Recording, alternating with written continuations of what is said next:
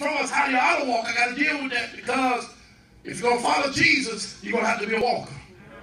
You can't follow Christ and there be no progression in your life.